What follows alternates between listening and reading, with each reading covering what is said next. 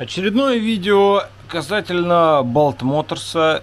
И сейчас видео будет посвящено полной переборке этого карбюратора. На самом деле, карбюратор этот настолько прост и примитивен, что я не знаю вообще для чего я это снимаю. Но тем не менее, учитывая иногда запросы, наверное смысл есть.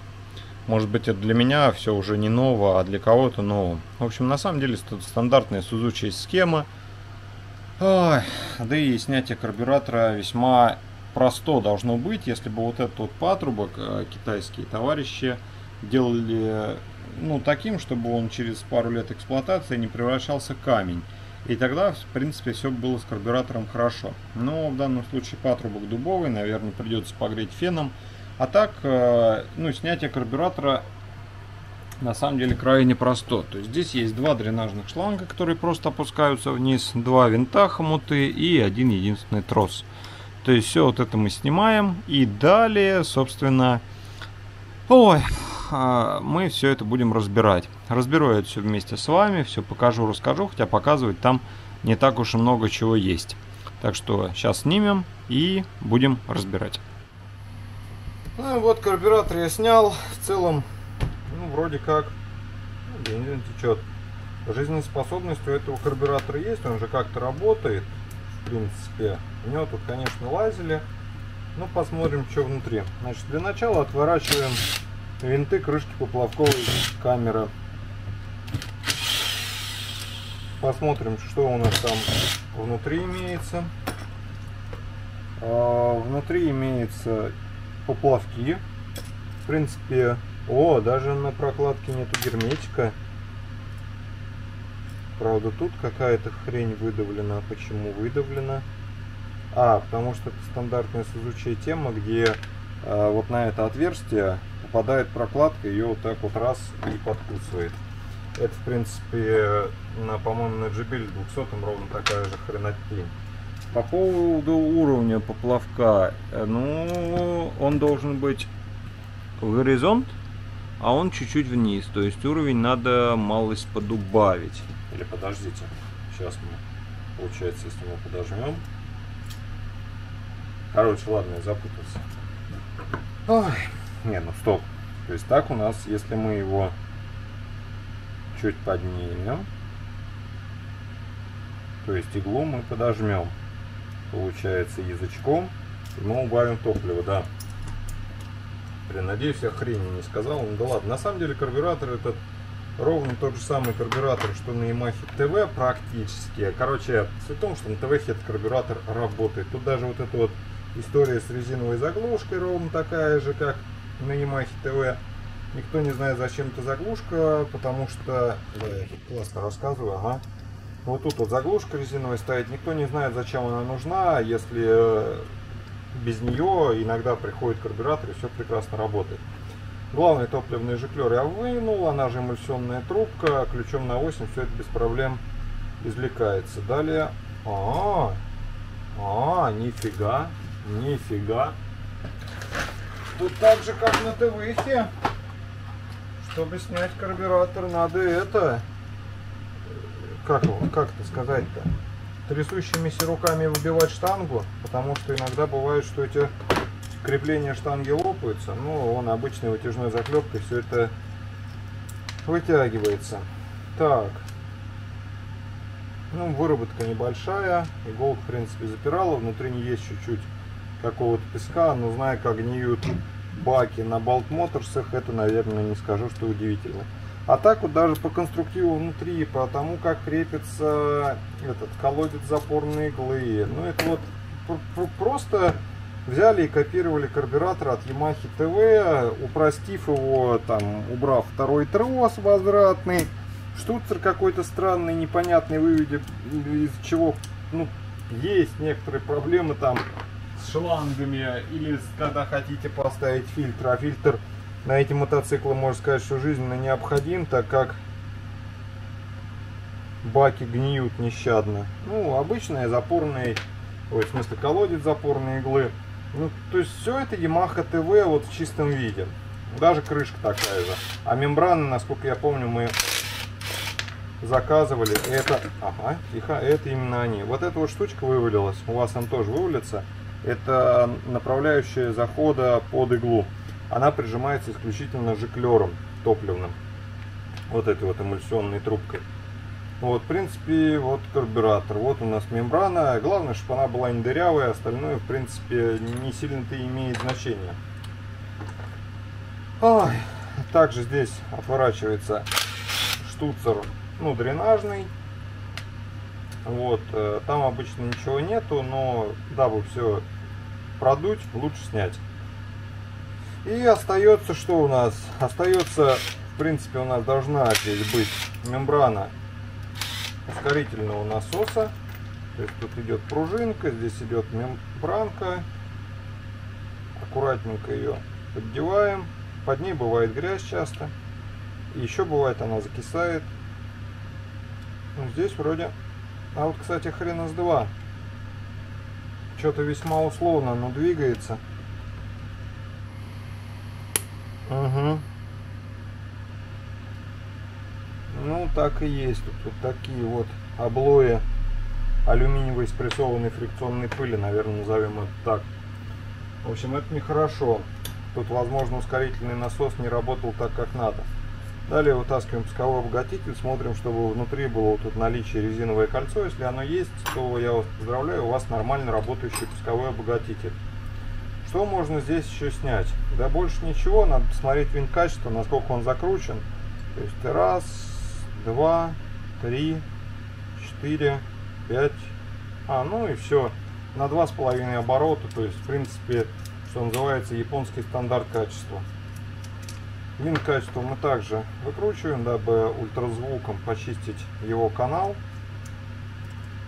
Там у нас идет запорная иголочка, пружинка, шайбочка. Вот такая вот мелкая и под шайбочкой должно быть резиновое кольцо. И оно там есть. Да, чудесно. Потому, ну, собственно, карбюратор, видимо, пару раз не сильно вандаля почистили. И, в принципе, на этом больше никаких трудностей он не испытывал. Только вот резиновое колечко очень активно не хочет вытаскиваться, аж бесит. колечко. О, все. вот на резиновое колечко. В принципе, на этом разборка карбюратора и закончена. А, как бы, ну, для меня ничего интересного в этом нету. То есть это обыденный, простейший, древнейший карбюратор. Его китайцы копировали хорошо. Единственная проблема этого карбюратора – это резиновые изделия, конкретно мембраны вопрос нету, от прокладки под поплавковой камеры китайцы почему-то не очень умеют делать. Вот, они как-то очень быстро неоправданно дубеют, и карбюратор начинает течь. Ну, также китайцы никогда не выставляют уровень поплавковой камеры нормально, что тоже вызывает грусть и печаль, но тоже все решаемо. Вот вопрос, надо ли вам вот эти вот пути решений. И еще проблема этих карбюраторов то, что владельцы не понимают, что они делают и лезут туда, куда не надо. В итоге после вот этих вот их манипуляций обычно бывает так, что карбюратор, если и подлежит восстановлению, то ну, это теряет всякую ликвидность, если отталкиваться от цены. То есть иногда цена нового карбюратора будет меньше, чем пытаться ремонтировать старый. Но дело в том, что не всегда можно купить новый карбюратор, это раз. И второй момент, э, не факт, что купив новый карбюратор, он будет рабочий. Что для китайцев тоже, в принципе, история не нова. Вот, то есть там, как они любят на всех моторах зажимать клапана до потери пульса, то есть как будто они их ну, специально так собирают. И всякие вот эти вот моменты с карбюраторами, там что может течь завода и прочее. В общем, все это имеет место быть. Короче, дальше мы сейчас загружаем карбюратор в ультразвуковую ванну, все это чистим и после этого будем собирать, но может быть что-то еще и покажу. Ну и вот происходит магия ультразвука, это уже второй заход, то есть э, ну, погружается карбюратор, специальный состав для ультразвуковых ванн, после чего включаем,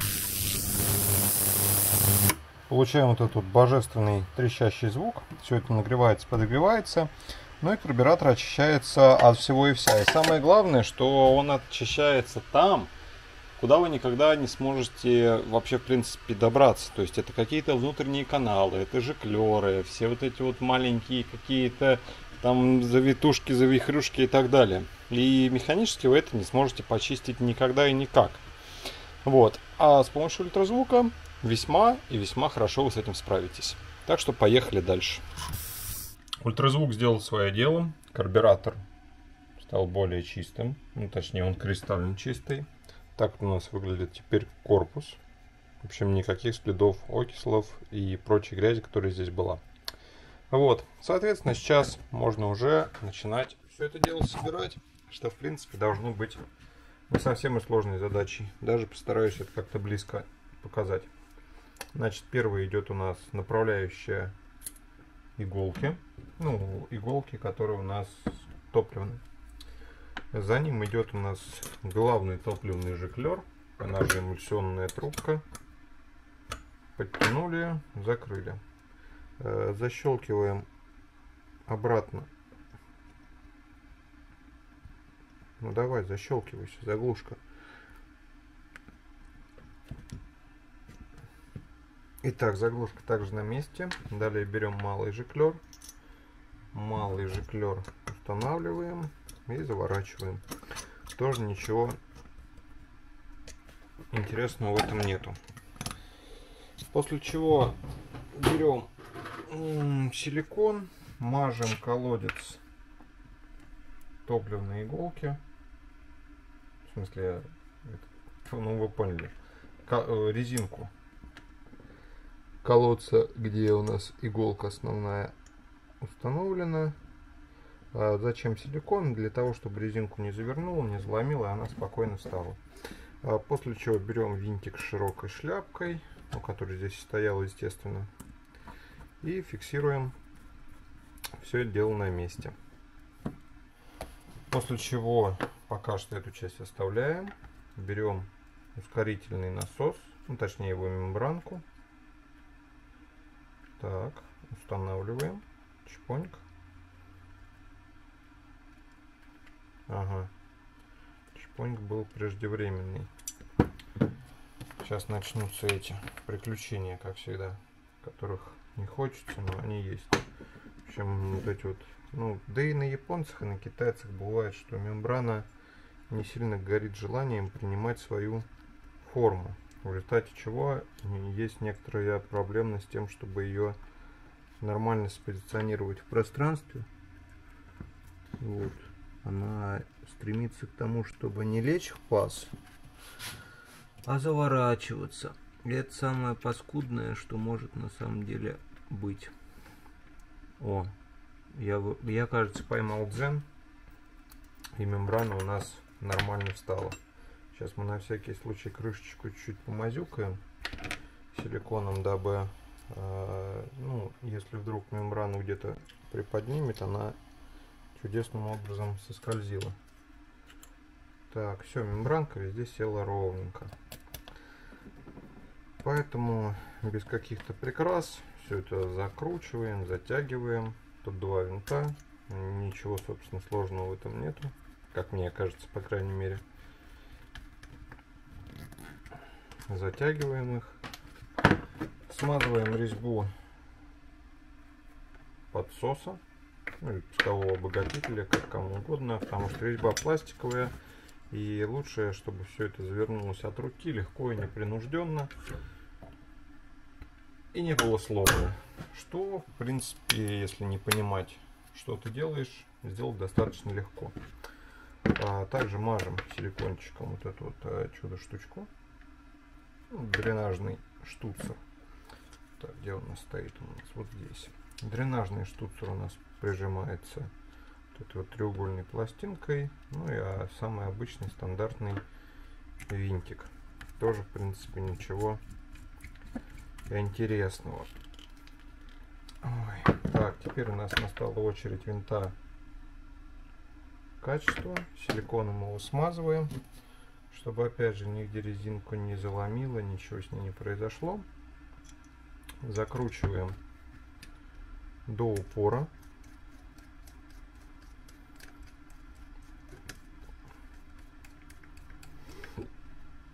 Теперь раз, два, три, четыре, пять.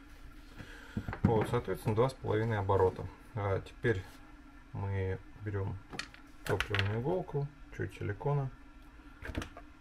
Так, вставляем топливную иголку в поплавок. И смотрим, кстати, что поменялось. Потому что иголка подпружинена, она бывает забивается смолами. И, собственно, из-за этого, в том числе, а, может не в нужную нам сторону, скажем так, корректироваться уровень. И это бывает проблемой. Так, устанавливаем штангу. Штанга на месте. Смотрим уровень. Ну, если мы посмотрим, то он чуть-чуть ниже, чем хотелось бы нам. Поэтому мы берем, чуть-чуть поджимаем язычок.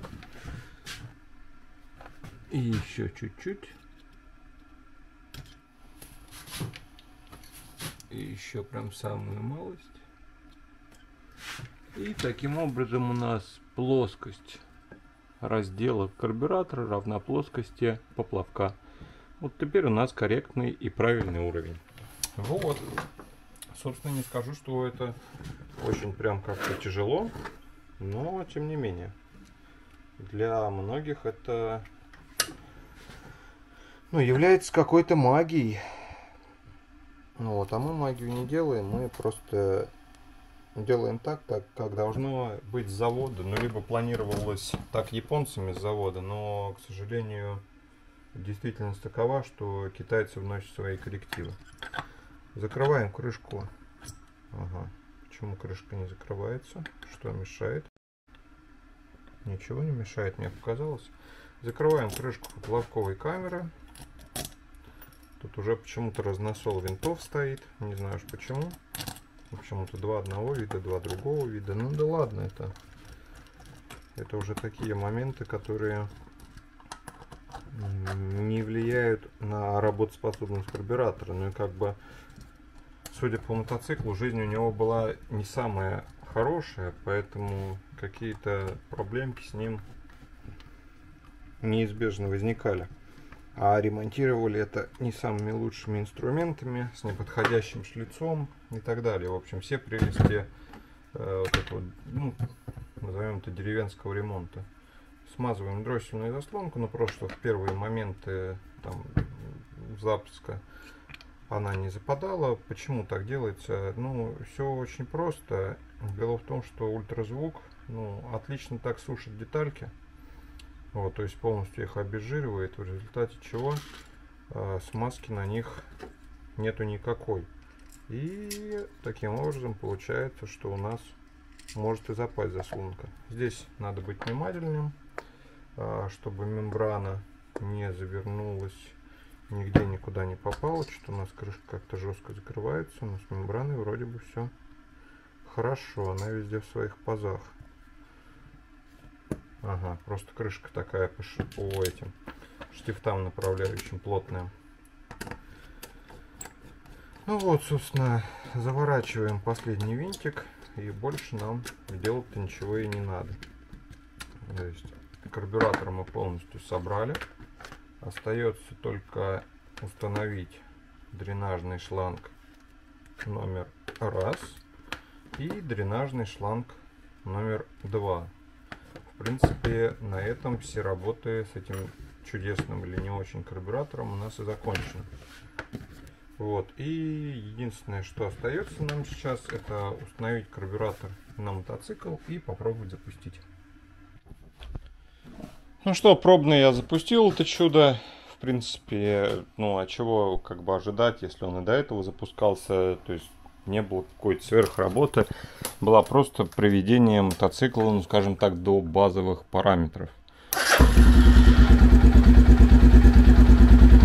Моторчик работает. Выхлоп там выпиленный. Поэтому, конечно, ожидать чего-то сверх замечательного здесь не стоит.